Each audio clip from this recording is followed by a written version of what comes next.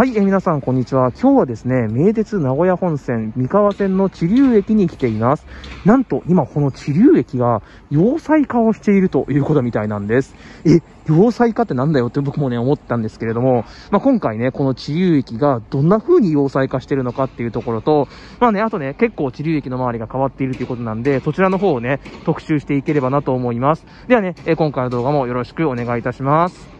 はい、えー、まずね、こちら、地流駅の改札外の方から見ていきましょう。こちらですね、地流駅の今、駅前広場。もうこれはだけ見ればね、全然昔ながらで変わりないんですよね。うん、まあ、あちらに愛嬌に行くね、バスとか、トヨタ車体に行くバスとか乗り場があって、あの、時計とかもね、昔ながら変わんないんですが、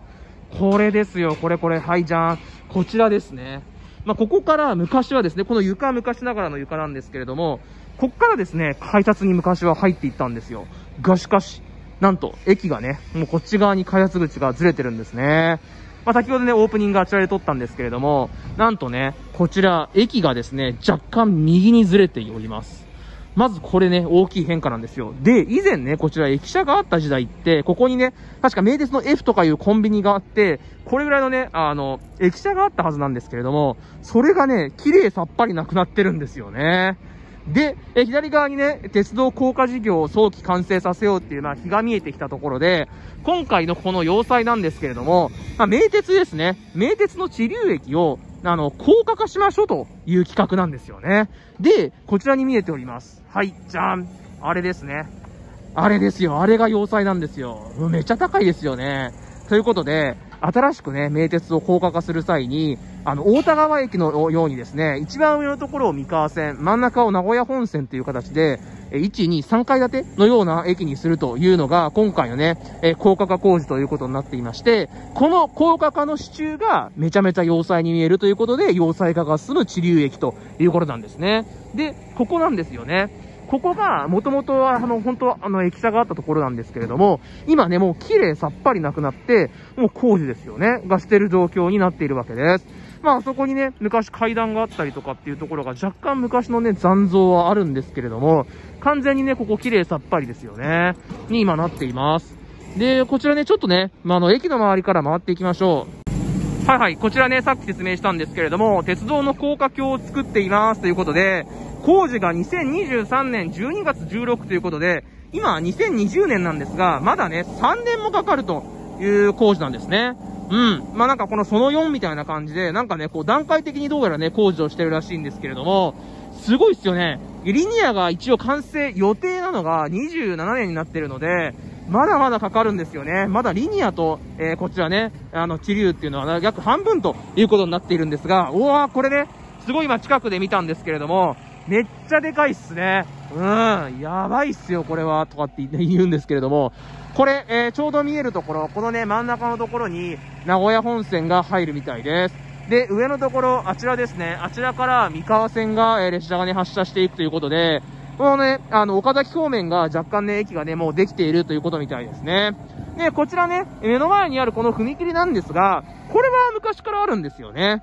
うん、駅の近くの踏切で、あの真ん中がね、この手前が本線の踏切、奥が三河線の踏切に分かれていて、あの真ん中のところでね、駅で、ま、待てることができるということで、結構ね、列車のね、名所みたいなところになっているわけなんですけれども、はい、えー、こちらから見るとね、さらにね、駅の工事の様子を見ることができるかなと思います。今ね、クレーン車、クレーン車がね、2台いまして、うご、めっちゃ動いてるんですけれども、このね、クレーンと底が見えますかねすごいなんかこう支柱がやっぱりね、まあ、絶対折れちゃまずいんで、地下までね、これ工事の音はすごいんですけれども、かなり奥深くね、えー、作られているということみたいです。あそこにね、若干ね、看板がありまして、もうね、今見えなくなってるんですけれども、もともとね、駅舎がね、こちらの方にあったということがわかるんじゃないのかなと思われます。で、あちらが今ね、仮駅舎、地流駅っていうのがもう仮駅舎になっていますので、仮のね、古線橋があそこにね、作られていて、このね、踏切を渡って、じゃあちょっとね、向こう側に行ってみたいと思うんですけれども、あんな感じでね、すごいね、列車の方が見えるんですよね。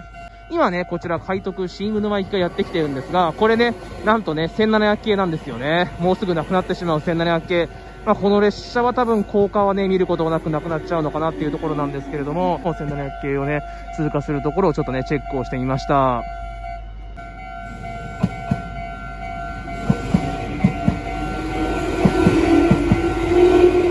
これぐらいね、すごいね、近いところでね、列車が見えるということで、すごい楽しいですよね。うん。こんだけやっぱ電車が近くで見えたらね、なかなかね、楽しいっすよね。で、列車はね、この上を上がっていって、カーブして新安城の方に向かっていくということなんですが、じゃあせっかくなのでね、ちょっとね、渡ってみましょう。こちらね、駅舎がなんとね、3階建てのような感じになっているということです。で、今ね、独立にね、これ踏切になっているんですよね。今こちらね、さなげの方からなのかな？それでどっちかな？壁南からちょっとわかんないんですけれども、列車がやってきたということになっています。ここでね、列車が見えるんですよね。いやいやいや、これはなかなか贅沢ということで、こんな感じで今、地流駅のね、全体を見ることができています。こちらに新しい駅舎と要塞がね、こちらにも出来上がります。要は、こちらのね、この要塞がこっちにもね、移動してくるということになっているわけです。はいはいはい。これめちゃめちゃ面白いですね。今、こちらですね、名古屋本線の踏切が降りていて、こちら側の踏切は行けないんですけれども、車です。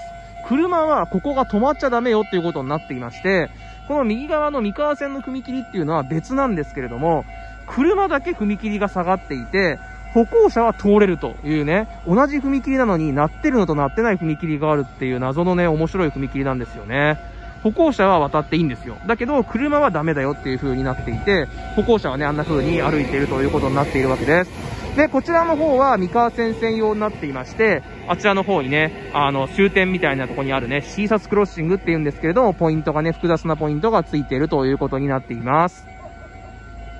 で、ここね、踏切内です。停車しないでくださいということで、ここがね、一応踏切ないということになっているんです。で、あちらからは踏切内だけど外に出れるし、こちらは踏切内で待機するし、みたいなところで、すごいね、面白い踏切なんですよね。まあね、こちらね、次ね、次のポイントに行ってみたいと思います。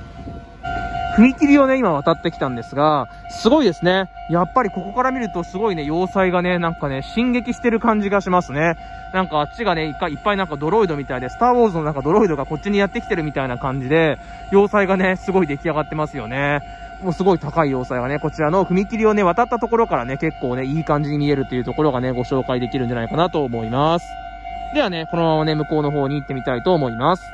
はい、えー、先ほどのね、踏切から少しですね、こちら、地流駅の方に寄ってきました。えー、あちらの方からはね、さっき要塞が見えたわけなんですけれども、こちら側、一応昔ですね、なんか一番線っていうのがあって、留置線のようなものがあったと思ったんですが、ちょっとね、建物が普通に、ちょっと昔からありそうな建物があったんで、ちょっと違うんですね。なんかここまで一番線っていうのがあって、留置線があったような気がしたんですが、ちょっとね、それはね、どうやら違うみたいですね。うん。で、あちらの方には地流駅の南口っていうのがありまして、ここからね、地流駅の方に入っていくこともできるということになっているようです。はい、こちらね、南口から少し離れたところに来ると、なんかね、高圧線注意ということで、すごい、なんか自分がね、電車になったような気分になれるんですよね。こんなところをね、歩くところができるポイントがありました。おー、すごいすごい。まあ、隣にね、三河線も止まってるんで、まるでね、僕もね、ここ並んでるかのようなね、雰囲気ですごい楽しいんですけれども、ああ、それは置いといて、えこちらね、今、南口の方からですね、少し歩いてきたとこなんですが、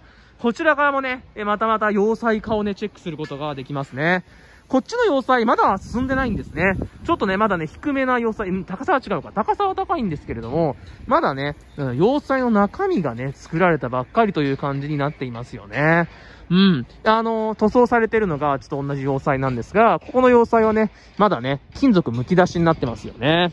で、まだあちらの方もね、進んでいない感じになってますよね。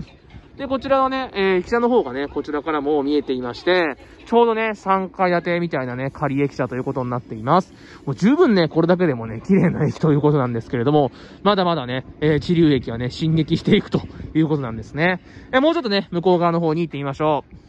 はい、えー、こちらね、先ほどの道を少しね、歩いてきました。あの、名古屋方面に歩いてきました。そうしましたらね、こちら、踏切をなんとね、発見しました。えー、こちらの踏切、えー、もうね、地流駅から、だいたいこれ300メーターぐらいかな、来たところですので、あの、あれですね、もう名古屋本線のみの線路ということになっています。で、この今ね、目の前のところを、なんとね、クレーン4本がね、作業してるんですよね。1本、2本、3本、4本ということで、今基礎をね、作っている段階なようです。で、もうね、実はね、向こう側にね、あの、高架に上がってくる線路というものがもう作られておりまして、ここ目の前が今ね、え低いところ、地平面なんですけれども、あの奥見えますかね？あそこです。ちょうどね、これぐらいなんですけれども、ここにね、もう上に上がってくるところっていうのが、もうちょっとね、できてきてます。で、こちらですね、今ね、ここ透明なんで見やすいんですけれども、こちらのところに、えー、車止めがついていまして、えー、これがですね、三河線の、昔の1番線ということで、多分ね、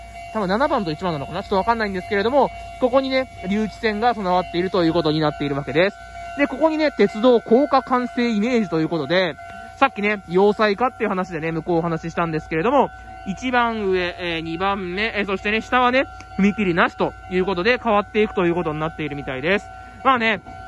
この高架化2023年にね、完成するということなんですけれども、23年ですよ。あと3年後にね、ちゃんとまだ赤色生きてるかなっていうところがね、若干気になるところではあるんですけれども、まあそれは置いといて、今ね、工事がこのように進んでいるということです。で、要塞ですね。もう非常にどでかい要塞ということがありますので、この要塞作るためには基礎が必要です。やっぱりね、地下深くですね、基礎を作らないと何かね、地震とかあったら怖いということもありますので、えー、このね、え基礎を作るために今ね、重機が頑張っているということになっているわけです。まあね、沿線のところをね、しっかりとね、あの、保線の方がね、見守っているという様子を見、を見ることができます。えこちらね、えここから治癒液がぶわっとね、広がっていくということになっているわけです。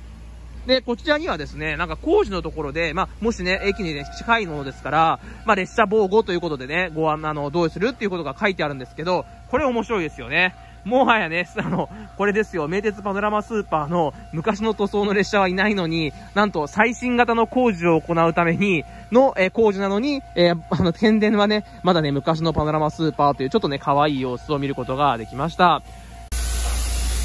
はい、えー、こちらね、踏切の反対側の方にやってきました。これがね、あのー、要塞の一番下の基礎の部分ですね。いやー、こういうのを見ることはなかなかないので、すごいですね。もうこういうね、ものが重なって、あれですよね。あんな大きいね、要塞が出来上がっていくんだなっていうね、要塞、様子をね、見ることができるんだなと思います。ではね、こちらからね、また再びね、あちら地流駅の方に近づいていきたいと思います。はいはいはい。で、先ほどのね、場所から少しね、地流駅の方に寄ってきたんですが、ここはね、もうさっきのところですね、あの、つくつくからね、だいぶ進んできたところということになっていて、このようにね、えー、上のね、地上のところまで、あの、つくつくがね、上がってきてるということになっています。まあ、深いところからこれぐらいまでね、上がってきてるということで、このなんかね、工事を段階的に見ることできますよね。一番最初のところ、え、そしてね、これが少し進んだところ、で、あれがね、理想形ということで、3段階ね、見ることができるのも今だけなのかなというふうに思います。はいはい、さらにね、こちらですね、地流駅の方にやってきましたら、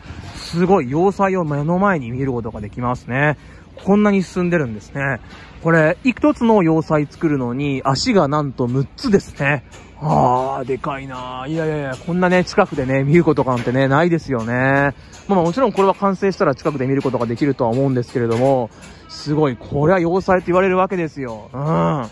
すごいな。っていう、ません。すごいなしか言いようがないんですけれども、こちらね、えー、手前側のところが、えー、すでにね、えー、出来上がってるところですよね。あとは、ま、ここから手直しなんですけれども、奥の方は、まだ剥き出しですよね。剥き出し鉄骨の、えー、基礎というか、あの、要塞が出来上がってる感じですね。ああ、なんかね、可愛いですね。すごい。なんかここにテナントが新しく入るらしいんですけれども、なんかね、栗さんがいっぱい集まってますよね。まあね、どうでもいいことを話しちゃったんですけれども、あ、ここからね、またね、再びね、ね工事の様子を見ることもできますよね。はい、え、ここから見ると、あちら側にね、要塞がね、出来上がってるところが見えますよね。あ、今ね、工事が、なんかね、こう、型枠組み立て工事とかっていうのは、もろもろやってるそうなんですけれども、ここね、昔ね、駅が、駅舎があったところですよね。まあ、綺麗にね、更地になって、今、基礎工事が行われている様子を見ることができます。あ、ここにもね、クレーンが1本、え2本、3本ということで、じゃあ今、この地流にね、合計6本、ん ?7 本か。7本のね、クレーンが来てるということですよね。すごいですね。っていう感じの様子をね、今ね、見ることができました。はいはい。ということでね、こちらね、一周戻ってきましたね。オープニング撮ったのがあちらの向こう側でしたので、こちら側のね、地流駅、どうやらね、これは西という話らしいんですけれども、西口というものがあるみたいです。で、ここにはね、まあ新しいこれ地流の顔になるわけですから、早速ね、先行的にビルができてまして、ここら辺にもまたビルできるんじゃないですかね。あとね、ここにもね、新しいマンションが出来上がってますよね。なんかもう地流はね、未来を見てますよね。で、こちらにはね、もちろんファインもあって、あとこれですよ、昔ね、ありましたよね。地流の一番手前の駅舎の側のホームのところに、え工房さんがあったんですけれども、これがね、え新しくね、ここに移設されてまして、こちらでね、地流のね、安全を今もね、見てくれてるということになっているわけです。はい、えー、ではね、地流駅一周をしていきました。いやー、要塞化がね、進むね、この地流駅なんですけれども、いや、本当にね、いろいろ魅力たっぷりでしたね。いや、今後もね、段階的にこの工事が進んでいくということで、どんな風になっていくのか非常に興味深いなというところです。はい、えー、ではね、今回の動画はこちらで終了していきたいと思います。えー、この動画がね、面白かった役に立ったという方、ぜひね、チャンネル登録よろしくお願いいたします。ではまた次の動画でお会いしましょう。最後までご視聴いただきましてありがとうございました。バイバイ。